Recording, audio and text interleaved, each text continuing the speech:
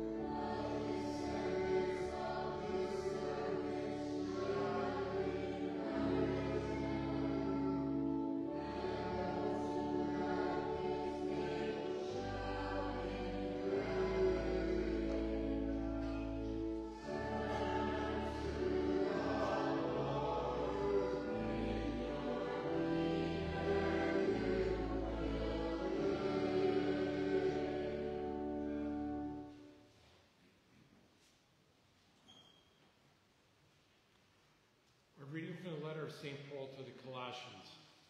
Jesus, Christ Jesus is the image of the invisible God, the firstborn of all creation. For in him were created all things in heaven and on earth, the visible and the invisible, whether thrones or dominions or principalities or powers, all things were created through him and for him. He is before all things, and in him all things hold together. He is the head of the body, the church. He is the beginning, the firstborn from the dead, that in all things he himself might be preeminent. For in him all the fullness was pleased to dwell, and through him to reconcile all things for him, making peace by the blood of his cross, through him, whether those on earth or those in heaven. The word of the Lord. Thanks be to God.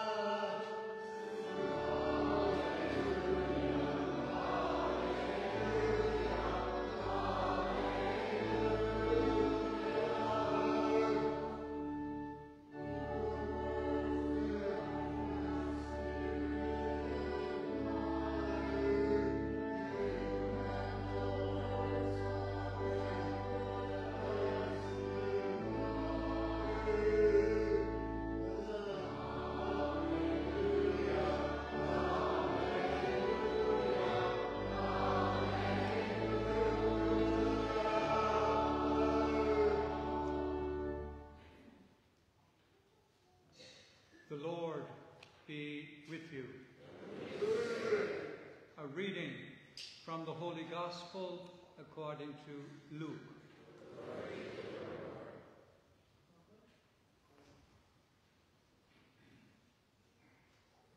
Now there was a scholar of the law who wanted to test Jesus. And he said, Teacher, what must I do to inherit everlasting life? Jesus said to him, What is written in the law? What does the law say? How do you read it? And the man said in reply, You shall love the Lord your God with all your heart, with all your being, with all your mind. And you shall love your neighbor as yourself. And then he replied to him, You have answered correctly.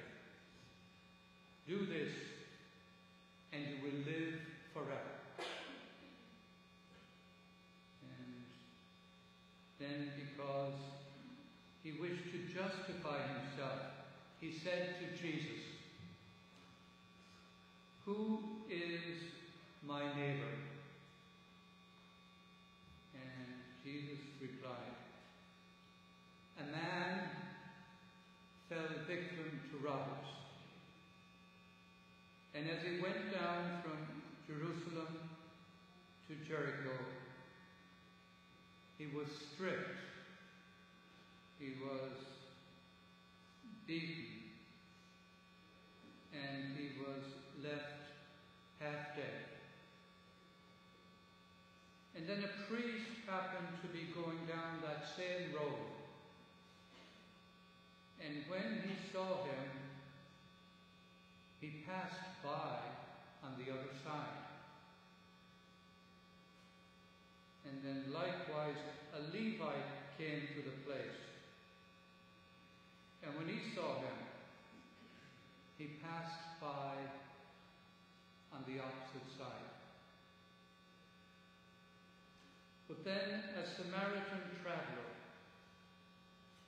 who came upon the broken man, he was moved with compassion at the sight. He approached the victim and then he poured out oil and wine over his wounds and he bandaged him up. And then he lifted him up on his own animal and he took him to an inn where they cared for him. And then the next day he took out two silver coins and he gave the coins to the innkeeper and he gave him the instructions. You take care of him.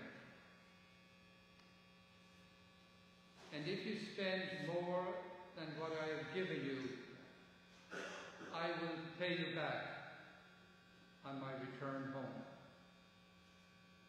And then Jesus asked the question Which of these three men, in your opinion, was neighbor to the robber's victim? And then he answered Jesus and he said, The one who treated the victim with mercy. And then Jesus said to him, Go and do likewise. The one who treated him with mercy, then you go and do likewise. The Gospel of the Lord.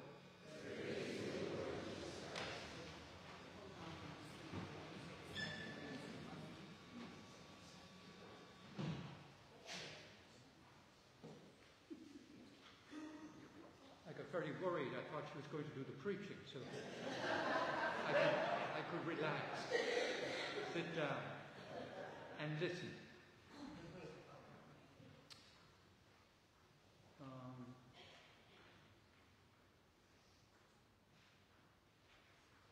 the gospel story, the parable, is one of the best known stories in all of the Gospels. It's probably the best loved story in all of Gospel literature. Because any time one human being helps another, any time one human being is caring of another.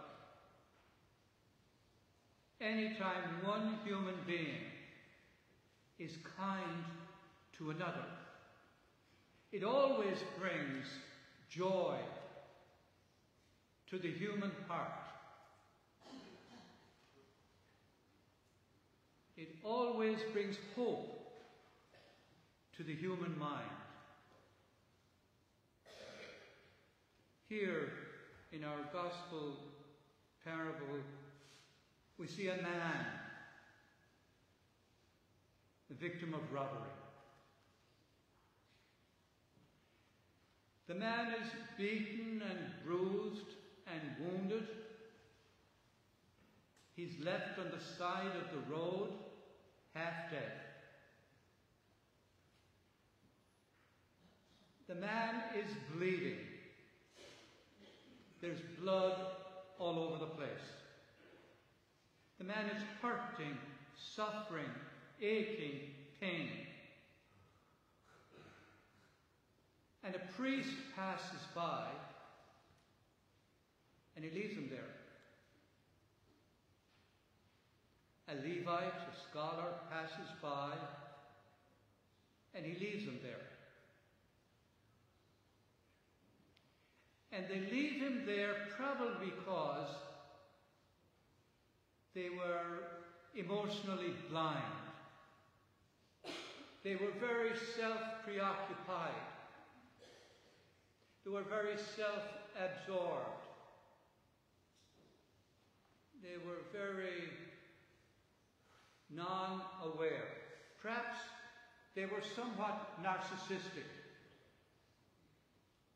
They were just preoccupied with themselves.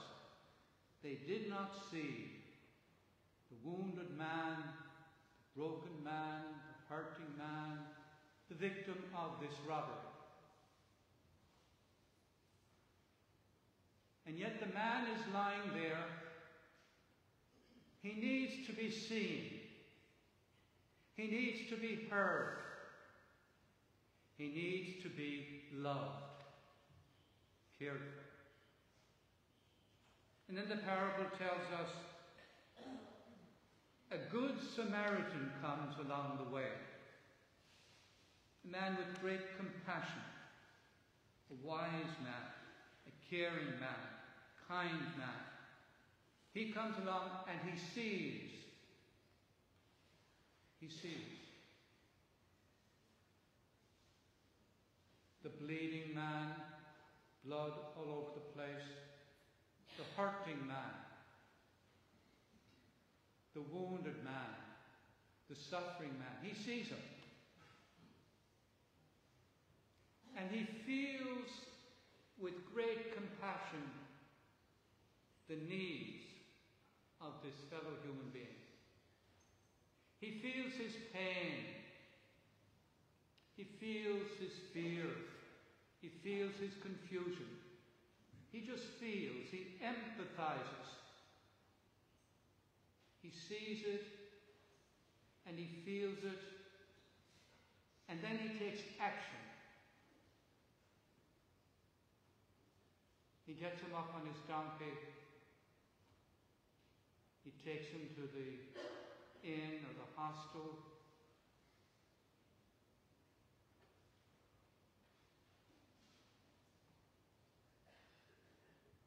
And then he pays for his upkeep, or his overnight stay, whatever length he was there.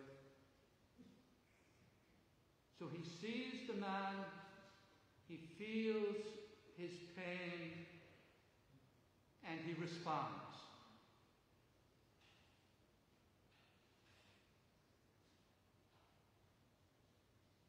He gives him attention.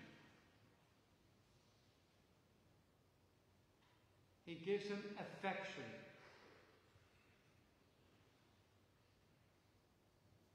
He gives him time.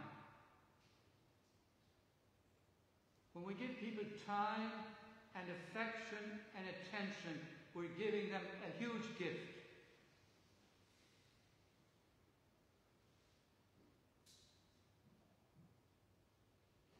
And then Jesus says to the, the scholar of the law, Go and do likewise. Go and do likewise for your spouse, for your children, for your people next door. You know, one of my neighbours, or two or three of them, in the winter, they bring my trash can in off the street. I love it. I get attention, affection, and time. Well, I don't know what else, but, but it's a wonderful feeling to see the trash can gone in the morning. Not down the street, but on, up on my back porch. So our challenge, all of us, is to be more neighbourly, more connected with, perhaps the hurt, the pain, the anguish, the needs of others. So let's bow our heads and um, kind of connect with ourselves. No. how could I truly be a good Samaritan? That's the question. How could I, can I, be a good Samaritan? How can I see? How can I feel? How can I attend? How can I give help, affection?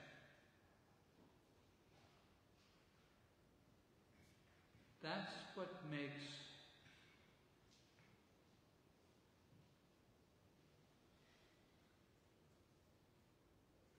relationships, brings healing, and a good earth.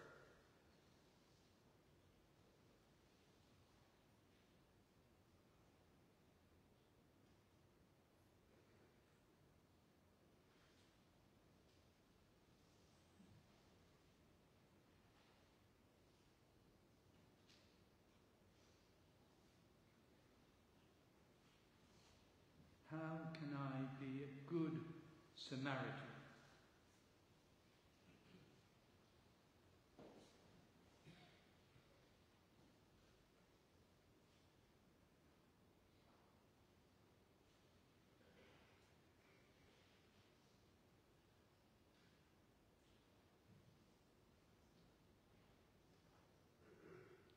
A good Christian?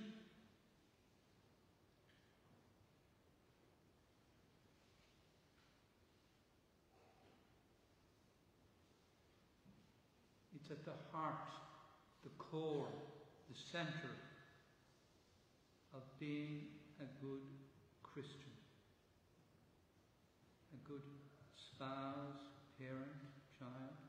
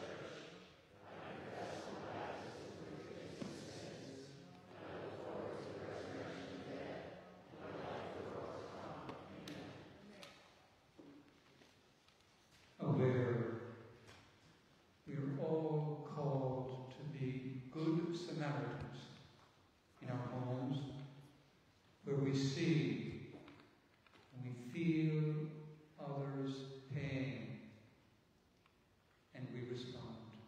With that teaching, we now ask for the following favors.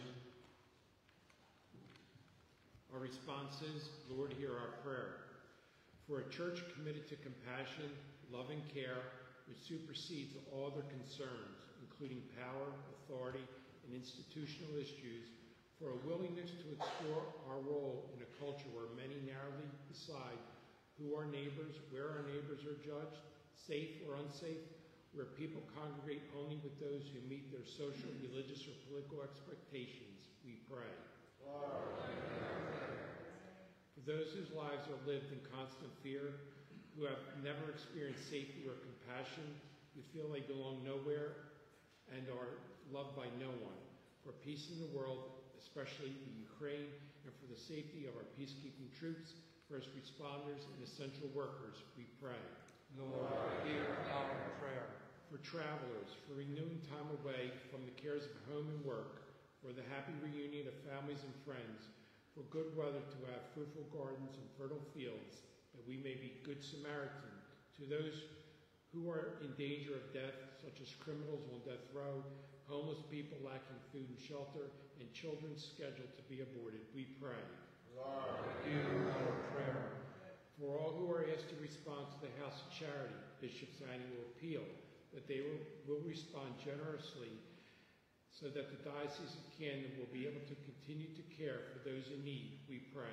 Lord, Hear our prayer. for all in this community who are sick, suffering, grieving, or in any way in kind of need, especially those whose needs we have not yet discovered or addressed for the eradication of coronavirus.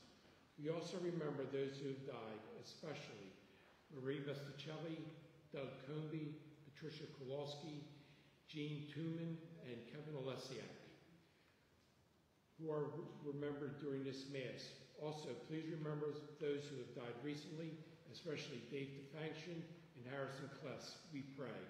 どうもありがとうございました。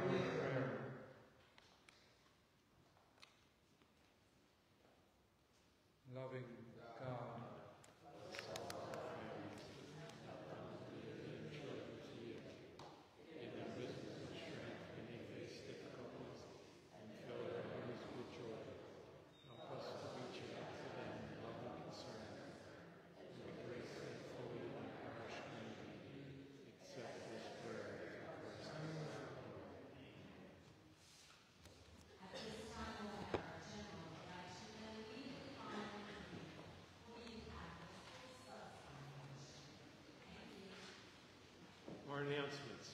Our House of Charity forms are in the pews if you wish to make a donation. You may place the cards in the collection basket or drop off at the church office. Thank you for your generosity. Our 50-50 tickets are available for purchase at the parish office throughout the week. $20 per ticket. When, you, when three tickets are purchased at one time, your name will be placed into a special drawing for a $200 gift certificate for Doc's Oyster House Restaurant. 50-50 tickets drawing will be held on August 19th during the parish chicken barbecue. By the way, you can purchase chicken barbecue tickets after all weekend masses. The cost is $20. 50-50 50 tickets can also be purchased at the Catholic shop. Our summer mass schedule is Saturday at 4 p.m., Sunday 7, 8, 9.30, which is also live streamed, 11 a.m. and 5.30 p.m. Sunday evening. All masses are held in the church.